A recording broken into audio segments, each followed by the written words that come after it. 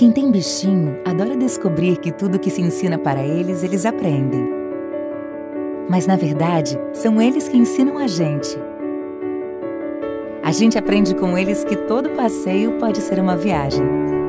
Que sentir o vento batendo no rosto é voltar a ser criança.